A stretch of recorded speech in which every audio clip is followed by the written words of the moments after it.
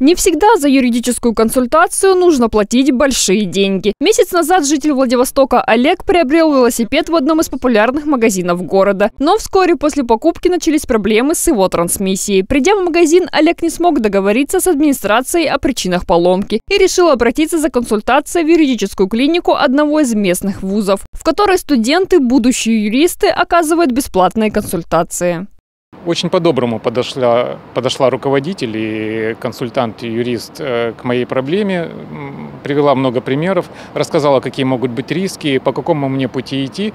В общем, в принципе, не заплатив ни копейки, я увидел для себя, какие пути решения этой проблемы у меня могут быть и какие финансовые риски я несу при, например, если я подам в суд на производителя или продавца этого велосипеда.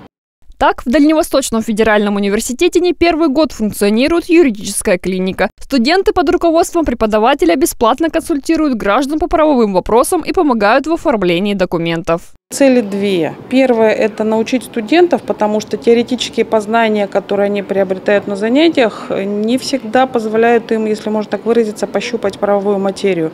А здесь они получают доступ к конкретным жизненным ситуациям, конкретным документам. Они понимают, как нормы права действуют в реальности.